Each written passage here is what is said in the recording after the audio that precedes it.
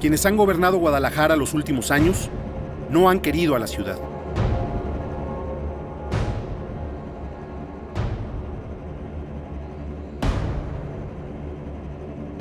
Porque cuando quieres a tu ciudad, no le das la espalda, no la traicionas, no te robas el dinero de su gente.